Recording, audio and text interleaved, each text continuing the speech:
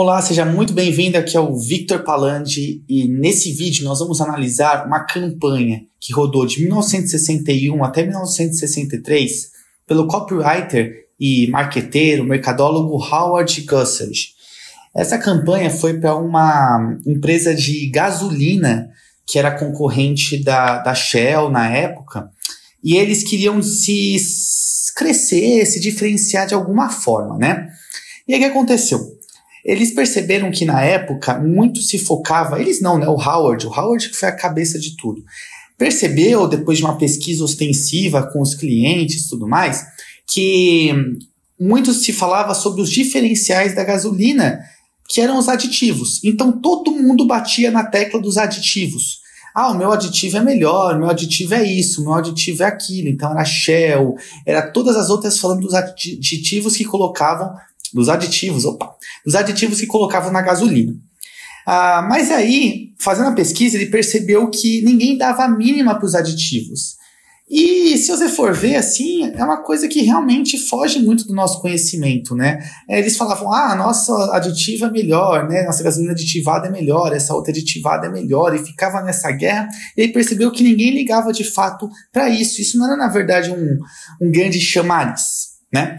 E aí ele teve uma sacada meio maluca que eu achei, que ele criou um ar rosa, né? Ele criou a campanha baseada num ar rosa. Então, a, a nome da, da empresa na época era Fina, né?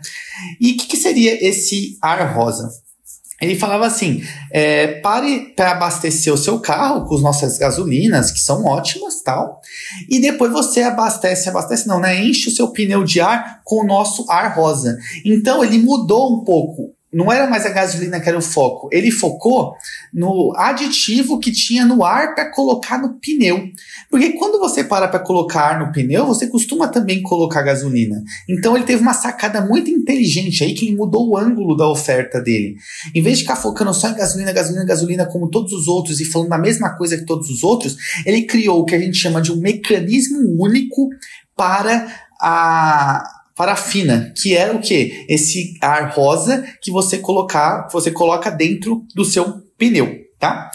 E aí então eles ficaram nessa campanha, vou até mostrar aqui as cartas de vendas para você.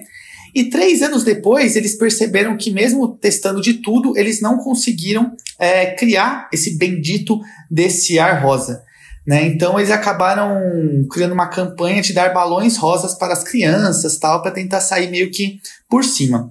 Porém, mesmo se tornando um fracasso na questão de engenharia, né, na questão da execução do projeto, ainda assim esse é um caso muito interessante porque mostrou um lado corajoso, né, do, do Howard.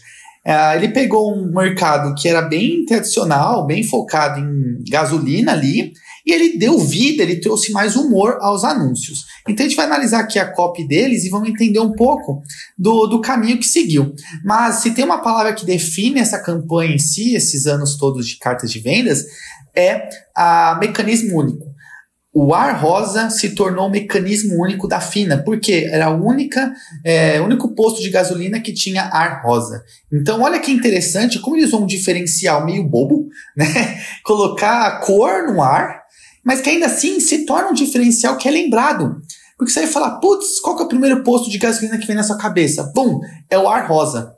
Ah, se você for ver hoje em dia, a gente tem um posto de gasolina que trabalhou muito bem também essa questão, que é o posto Ipiranga. Então, o posto Ipiranga não focou tanto em falar da gasolina. Eles, eles focaram muito no. É, pergunta lá no posto Ipiranga, pergunta lá, pergunta lá. Então, isso também acabou trazendo uma certa fixação de marca. Vamos analisar então um pouco agora da COP, tá? Ah, é interessante aqui que naquela época, né, 1960, tudo era bastante veiculado em é, jornal, né? Ou mala direta, carta enviada para os outros. Então, você tinha que pegar a. Você tinha que mandar para o endereço das pessoas, as pessoas tinham que preencher um cupom e devolver para o endereço do, do remetente. Ah, então, aqui se você for ver, ó, ele falava sobre é, me envie um, uma amostra né, do ar rosa tal. Que era essa amostra do ar rosa? Eles iam enviar para você um, um balão, né? Então você poderia, que ele até brinca, ó, você pode dar isso para suas crianças, eles vão adorar, quantas crianças você tem e tal. Então eles criaram essa campanha, eles soltaram isso é, falando do ar rosa e usaram a, o balão rosa para materializar. Porque como que você olha um ar, né? Você não olha, tá dentro do pneu. Então eles materializaram isso dentro de um balão. Muito louco. Então o cara foi muito sagaz aí. Ah, aí beleza, então ele teve aquela campanha, depois ele continuou focando nesse mecanismo único. Perceba como a headline sempre foca no mecanismo único que é o ar rosa. E essa é uma lição para você também. Se o seu produto tem um mecanismo único muito legal, e se não, ele tem que ter um mecanismo único legal para se destacar, você precisa é, estressar isso na sua copy. Né? Eu gosto muito dessa palavra, né? Estressar isso é, você cansar pessoas tanto falar daquilo para se tornar muito memorável. Então aqui também tem outro texto aqui que fala sobre como que transporta, né? Ah, mesmo que transporta gasolina, tal. Então ele fala sobre o, esse esse ar rosa. Aí continua falando sobre ele e tal, explicando como que funciona. Aí tem uma outra carta de vendas aqui que fala outra copy, né? É, que fala sobre o, o ar rosa, né? É uma é uma, é uma, é uma disrupção científica no, no meio automotivo, né? Então, é meio que uma entrevista aqui. Então, o cara pergunta. É, Vamos lá, como você descreve esse ar rosa? E a sua gasolina? O que é interessante é que, se você for ler aqui o texto, ele fala que todas as gasolinas de qualidade são iguais. Então ele não diz que a, que a, gasolina dele é melhor do que a gasolina da Shell. Ele não, não, tá, não aborda isso, porque para ele é irrelevante. Ele fala todas as gasolinas são iguais. E ao dizer isso, ele também acaba com a campanha dos concorrentes. Porque quando o concorrente veicula que a gasolina dele é melhor porque tem aditivo X, Y, Z, e ele fala que todas são iguais, você tende a acreditar mais na fina do que no outro. Porque a fina está sendo honesta. Ela diz: olha, a minha gasolina é muito boa, assim como a gasolina da Shell. Por quê? Porque são duas gasolinas de primeira qualidade. Então ele tirou o foco sobre a qualidade da gasolina, colocou todas as concorrentes em níveis iguais, para que o seu diferencial fosse o ar rosa. E assim ele acabou quebrando um pouco também a campanha dos outros concorrentes. E aí ele continua falando aqui sobre, sobre o ar tal. E aqui tem a grande frase que eles usam em toda a carta de vendas, né? É, então, se você vê, se você estiver dirigindo e vê na, na rodovia uma estação, um posto de gasolina da Fina e estiver do seu lado, você não tiver que, que fazer manobra tal, pare. Então, aqui eles também colocam mais um cupom que você pode também preencher, é, que vai mandar para você uma, uma válvula para você colocar no seu pneu de graça. Então aqui você também está ganhando um presente e esse presente é legal porque também solidifica o seu relacionamento com a marca. Né? Você vai lembrar, então é, perceba que a Smart Fit é muito boa nisso, né? Quando você faz a, a matrícula na Smart Fit, você ganha uma camiseta. Essa camiseta você vai usar, mesmo que seja de pijama, mesmo que seja para ficar em casa. Isso vai acabar te lembrando que a Smart Fit existe. Existem várias outras marcas que trabalham esse tipo de marketing também. Aí aqui fala também de novo do ar rosa, né? Então imagina, três anos falando do bendito desse ar rosa, né? Então é, as pessoas acabaram criando muito essa relação e ainda não existia, eles estavam desenvolvendo, ou seja, eles ainda estavam criando todo esse awareness, né? Essa, esse reconhecimento em cima de um produto que eles ainda não tinham colocado no ar. Aí o que, que foi legal aqui também? Eles fizeram uma campanha é, de dá para você 15, 15 jardas de asfalto rosa, porque a Fina também tinha uma empresa de asfalto. Então você participava da, da promoção, você tinha que mandar por que você merecia ganhar esse asfalto rosa de 15 jardas, e eles e o, as melhores respostas ganhariam esse asfalto. Então o que, que é isso aqui? Também trouxe um pouco de gamification, trouxe um pouco de interação. Naquela época era tão difícil, né? A pessoa tinha que recortar o cupom, escrever, mandar de volta nos correios. Então, é, hoje em dia é tão mais fácil, né? Mas naquela época tinha que ser assim, não tinha outra forma. E isso que é? Isso cria também mais envolvimento dentro da campanha, mais fortalecimento do mecanismo único deles. Então, o asfalto rosa, asfalto rosa, tal. Então, olha como eles desassociaram a fina de qualidade de gasolina para outros atributos que a tornam um diferencial, que faz você lembrar dela. É, e, e, o legal da cópia é isso. Tem uma frase que eu gosto muito que diz: que o ideal é que você, você deve focar em não ser simplesmente o melhor, mas ser diferente. Porque o melhor é muito relativo, o melhor é uma briga constante, uma briga infinita. Agora, você ser diferente te coloca num patamar que você é incomparável. Ela é a única que tem gás rosa, né? Que tem a, o ar rosa para colocar dentro do, do pneu. Acabou. Então ela tem um diferencial muito memorável e você acaba colocando gasolina lá porque vai ser a primeira, o primeiro posto que vai vir na sua mente. Quando você vê a fachada, você vai confiar e, e vai achar engraçado também estar tá colocando um ar rosa dentro do seu pneu, mesmo que isso não seja visível no dia a dia, né?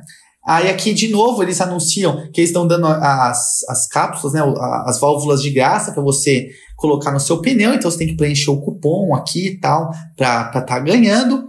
Uh, aí aqui outra entrevista também, continua tirando as dúvidas é, acerca do, do ar rosa. É, eles falam que é o aditivo, né, que deixa o ar rosa tal. Uh, também fala que a gasolina ela tem aditivos, mas ela não é superior às gasolinas dos concorrentes porque todas as gasolinas são iguais, tirando as de baixa qualidade, que aí não são melhores tal. E aqui eles focam também é, um pouco sobre a, a, o atendimento, é, fala também aqui sobre o balão de novo. Então eles continuam estressando a mesma ideia, o mesmo caminho. Então, se você. Isso é um ponto importante também. Se você está num caminho na sua copy, se você quer seguir naquilo que você focou, que você escolheu, Foque com tudo, 100%, passa o trator. Veja, eles ficaram três anos falando sobre a ar rosa. Imagina, três anos falando sobre o mesmo assunto que, de certa forma, não é nada demais, e ainda assim, é algo que marcou a história do marketing e marcou principalmente a publicidade é, para posto de gasolina. Né? Então, acho que a Fina foi um que marcou muito, o posto Ipiranga hoje em dia é um que marcou muito com o Pergunta Lá.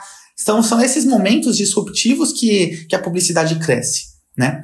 E aí até fizeram até uma carta de vendas, ó, falando, é verdade, question, né? Que de question, pergunta. É verdade que todas as marcas de gasolina são muito parecidas? E aí ele explica aqui que sim, de fato, são muito parecidas, todas têm os mesmos aditivos, tal. É, enfim, ele, ele explica, ele explica aqui, e isso ele também está quebrando o concorrente que fala que a gasolina é melhor é, quando você lê isso, você passa a acreditar e fala, pô, faz sentido, de fato, as gasolinas são muito parecidas, etc. Não vejo diferença. Quando você dirige o seu carro, você sente a diferença de você estar tá dirigindo um carro com Shell ou com posto Ipiranga? Não faz diferença. Não é você repensar certinho. Você escolhe pelo preço. Ah, posto Piranga está 5 centavos mais barato, eu vou pôr no posto Piranga tal. Então, a gasolina, de fato, você não enxerga o valor nela. Não é muito material a mudança. Aí também aqui eles continuaram falando sobre o, os ganhadores do, do, asfalto rosa, né? E foi uma das últimas campanhas aí antes deles anunciarem que eles não conseguiram fazer o, o ar rosa funcionar, né? Que eles não conseguiram fazer o ar ficar rosa. Mas foi uma campanha muito legal e ensinei bastante sobre a importância de você ter um mecanismo único, a importância de você ser fiel a ele e seguir estressando esse mecanismo único para que se torne memorável e também como é interessante que às vezes você criar campanhas para coisas similares, parecidas ou então relacionadas ao seu produto principal também gera vendas. Então, um outro exemplo muito legal é a Domino's. A, Domino's ela focou muito na época que ela foi lançada, na questão de ser a, a pizzaria que vai entregar a pizza quentinha na sua casa em meia hora. Esse era o diferencial. Essa era o mecanismo único, a velocidade da entrega. Eles não falavam que a pizza deles era mais gostosa, não falavam que era mais deliciosa, mais recheada, mais incrível, melhores. Não, o foco deles era na entrega. Então você comprou a pizza na, pizza na Domino's, não tanto por conta da qualidade. Claro, você podia gostar da pizza, mas porque o diferencial dela era a velocidade da entrega da pizza.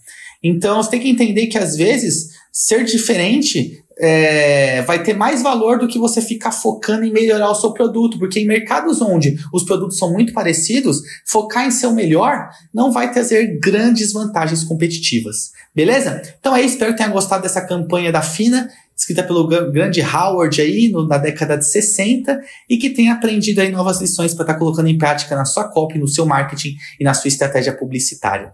Se inscreva no canal, clique aí no link da descrição, adquira o meu livro. Uh, meu livro aí tá, tá, tá à disposição para você. Pegue uma das unidades, leia mais sobre copywriting, domine esse assunto que vai fazer a diferença na sua vida. Um forte abraço então e a gente se vê numa próxima oportunidade. Até logo. Tchau, tchau.